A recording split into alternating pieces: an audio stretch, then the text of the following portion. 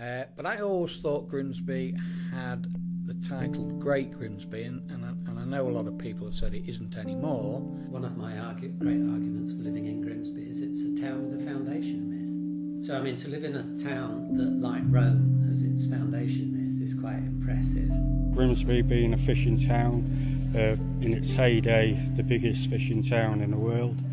Um, yeah, and everybody was in that trade, and it was absolutely buzzing. He said uh, we'll take you down Midnight Landing. Well, I was 19 at the time because I had to sort of leave the family because I was too old for the army to provide me with a. I had to earn my own living. So I came back here and lived with my grandparents. I was about 19, and he said we'll go down um, Midnight Landing. Well, I thought, my goodness me, I've got to get up. So I went to bed early, but I went fully clothed. So I thought, well, at least I won't be sort of bit late. But it, it was quite funny. And the midnight landing, that was something worth seeing because the trawlers were bumper to bumper to bumper. You could hop all the way down on the pontoon. It was fantastic. So you see, that's something, isn't it? In the past, when I was a lad, all my family, apart from my Uncle Bill, who was on the market doing the fruits and veg, were all fishermen. Me, my dad was a fisherman for 32 years. That closed down in 74. And uh, I mean, it, it, just wasn't the fishing industry, it was all the factories around it. I mean, the fishing industry, we was known as the food of the north, weren't we? We processed all the food here. And there's factories all over the place. Every nook and cranny there was a factory. When my uncles used to come in from sea, the, it, it was like Christmas for them sort of thing. And we all lived on fish. I mean, we had meat on a Sunday and we ate fish right through the week. Every you always got a fry from somebody. You never had to buy it. It always came in when they came in from sea. Or my dad was a lump. My granddad was a lumper. Sorry, and it was it was available. And yeah, I've got lots of good childhood memories. One of them being going out on the tugs to meet my uncle's ship, the Port Vale. When he came in from sea, we met him in the mouth of the Humber and waited for tide to turn. I was only like five, um, and yeah, it stuck in my mind. And wish them days would come back. But there was a lot of superstitions on good luck and bad luck, like you wasn't supposed to whistle at sea and stuff like that.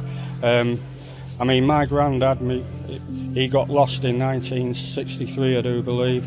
Um, I actually come from a, a, fisherman background, and um, all my uncles were deep sea fishermen, and um, my grandparents, one of them was a fisherman. Never met him actually, unfortunately, he, he, he died at sea. But I can remember walking on the quayside with my mum. Uh, she was going to collect her mum's wages. Uh, I can remember going on the quayside and waving my uncles in from a bad trip. Uh, also, drastic side of it, one of my uncles was washed overboard, and nature as it is, it actually washed him back again, even though he'd actually injured himself. Um, I remember him being airlifted off a trawler when a hook went into his eye. Um, so it has some sort of elements of life that I'm glad I didn't encounter. You had all the Icelanders coming in, using all the pubs. I mean, this was a thriving town, wasn't it? Growing up, it was lovely. Um, going to my grandmother's and running down the alleys, and um, my grandfather actually was a lumper on the docks, and he used to bring fish from the docks, and uh, he used to say to me, take these down to Mrs. So and so, Mr. So and so. So I used to run up and down Willingham Street taking these parcels of fish, and they used to give me half a crown.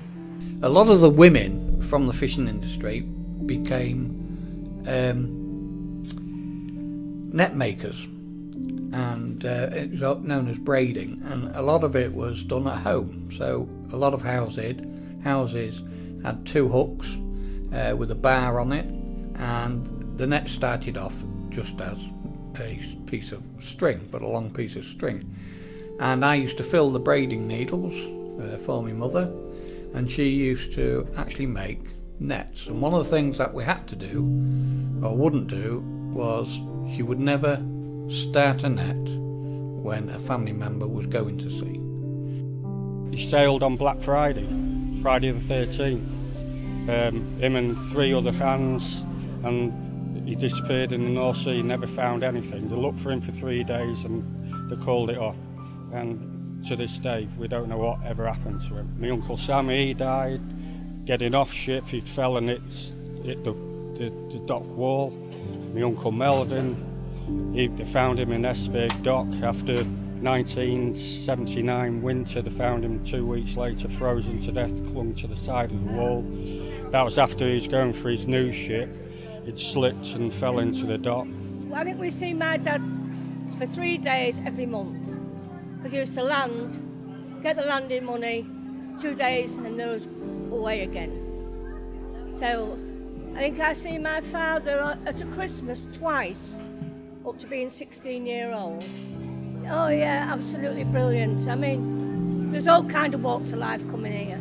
We could buy the sort of house that we couldn't have bought anywhere else in the country apart from Middlesbrough. Um, and two, um, we were we were near the sea. We could take the sea. The schools were good, um, and it was just a, a lovely, friendly place to be. Uh, definitely the community vibe. Um, you don't get this sort of uh, passion anywhere else. I'd say it's a very you know uh, driven community, to say the least. Um, uh, you know, there's uh, the football team, which did really ride or die fans is, uh, and um, yeah. Great, it was for me because say I live down Peaksfield Avenue, where the old railway lines and every time one train was coming, we could hear it before it got past our front. And we, every, all the kids used to sit on the green and waving at everybody, you know, as they was going past. So they were good times. I was a dancer, so I went to a local school called um, Florence Draper, and we did for local festivals at the Memorial Hall. Um, and for me, that was lots of fun memories because there was lots of schools from Grimsby, and it was it was massive. It, it was massive. It wasn't. I don't think there was so much to do apart from because I I dancing as a hobby. I don't think there was as much to do as there is now for the kids. There seems to be lots more opportunities out there now than there was probably then. And it was a great place. There was lots to do. Everybody seemed to look after you, even though you didn't know them. I mean, I came joined the market in 1980 uh, to work alongside my dad because my uncle had gone into making snooker tables. And um, I've been here ever since. And back then in the 80s, I mean, it was a lot busier. But then we only had two supermarkets in the town. Yeah, I mean, it was absolutely buzzing on here. I mean, it's slowly coming back today. But back then it was, you know, it, it was it was absolutely, it was a day out, not a day's work. And uh, yeah, I've seen people with the kids, and now the kids have got kids, and and I'm getting a feeling my age of it, I suppose, when I see them and they're all grown up. Uh, my history, as far as the market's concerned, it, I started on Freeman Street Market when I was about, I think about 10, 9 or 10. And uh, my parents had a stall on here selling fruit and veg. We used to grow vegetables locally, just up the road. And uh, I used to, it was my job to take the empty boxes to the cardboard crusher in the back and, and then sit all and wait for the next lot of boxes to be ready to take. So that was the that was my first job on here. Um, I didn't make a career out of that, sadly. I, uh, I went off to do other stuff, but I found myself back here years later. My family is deep rooted in the East Marsh. Um, right, all right back to goodness knows when. And the market, before it was covered in, my grandfather used to come on a, a, Saturday and a Friday when he had time and work on Molly and Gloria's. Um, my mum worked in catering, um, silver service catering, and my dad um, was a bus driver, he was an insurance man, later worked at Salverson's.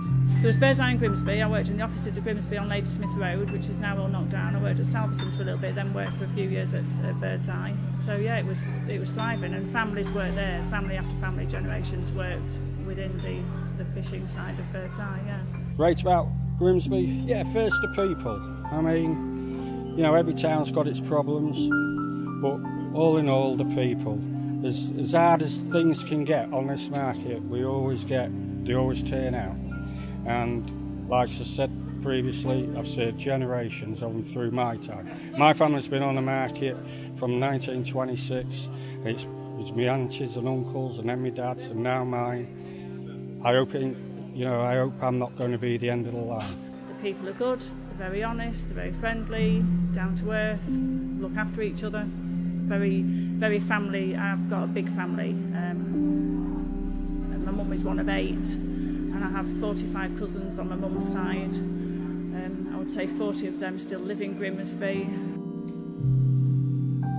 It basically it's the people and um, the welcome you get, and um, they are very rough and ready a lot of the time, but um, it, it's quite a sort of generous, um, hail fellow, well met community, really. It is, yeah. Great about Grimsby, I would say communities, the old communities, because you've still got that link, that friendship. Uh, you had the factories, Findus, Birdseye, so we all knew each other. Our children went to school together, and obviously we're still here, some of us, so we have that friendship that's ongoing, and I think that makes a community. I think it's got a good future. I think there's a lot needs to be done. We need um, activities, we need to have a self-esteem boost and be proud of who we are.